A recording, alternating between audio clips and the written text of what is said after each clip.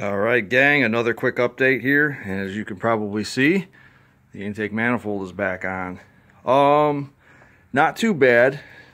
Just make sure you put your gasket on before you actually try and slide it on. There's a stud in the back here, and there's a stud right here that you're going to want to slide it onto. It's going to need a little persuasion. I actually used a 4x4 and a mallet to hammer it here and that kind of got it so it was in position. And then you've got one two three four five six and seven bolts that hold this thing on.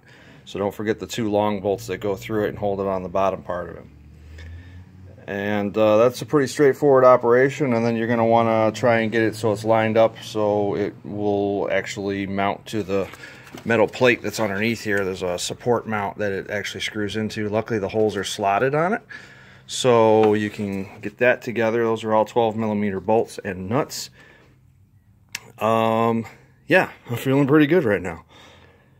So I'm probably going to take a coffee break at this point and pat myself on the back. It's starting to look like an engine again.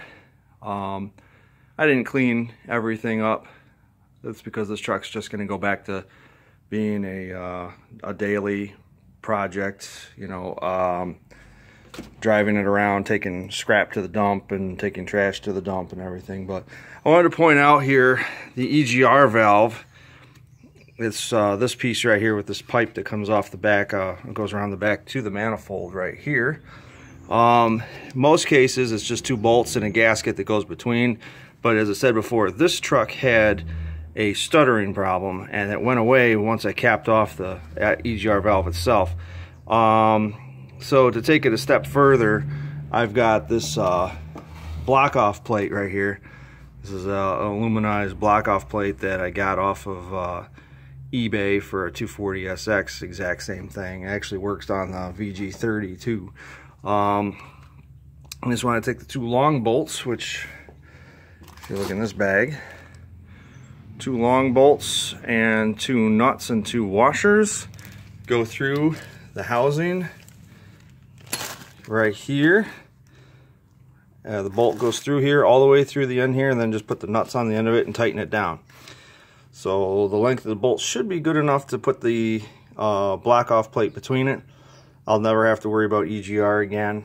Uh, and this thing should run pretty good. As I'm not trying to set any speed records of any kind here. I'm just, uh, you know, just going to drive her. So, what have we learned so far? Oh, best thing for access um, while I'm thinking about it. So you got the bypass hose here, and everybody loves this this hose because they're always complaining that it's very difficult to get at. The best thing you can do for that is to give yourself room by uh, pulling the alternator, the upper alternator bracket out of the way or upper alternator and just swing that out of the way it gives you access to be able to get the, the hose in place here and here. So just make sure you got a, a hose clamp already on it because you're going from two very inconvenient locations and you've got to get it just right uh, or else you're going to have leaks. And the other thing that you're going to want to do is instead of doing what I tried to do first, which was put the um, PCV hose on the actual valve itself, you're going to want to attach it to the bottom of the manifold because it's in a pain in the ass spot you're not going to be able to get to.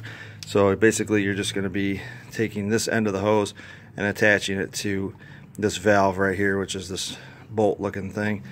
And a little silicone spray goes a long way because it uh, it just makes it so the hose slides on a lot easier. So, all right, well that's your friendly update for now. This is pretty much it for showing you guys how to do the head gasket replacement and the timing chain replacement. Everything else is basically reversal of what you removed.